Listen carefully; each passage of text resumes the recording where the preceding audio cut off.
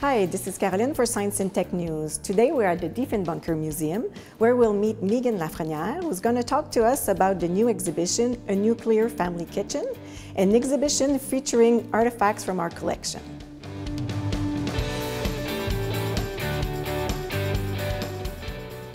Hi Megan. Hello. Can you tell us a bit more about the Diefenbunker Museum?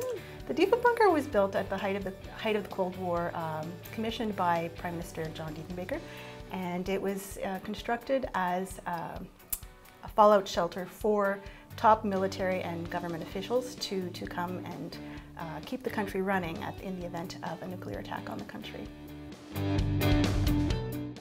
This is a new exhibit, um, a nuclear family kitchen, uh, that shows what life would be like outside of the bunker, a typical family environment, a nuclear family environment. Um, uh, that that we, we wanted to show exactly that, what life would be like uh, for families living uh, at the time. So it's showing modern technologies, uh, the changes in kitchen environments, and uh, we've got artifacts on loan from the City of Ottawa museums as well as the Canada Science and Technology Museum.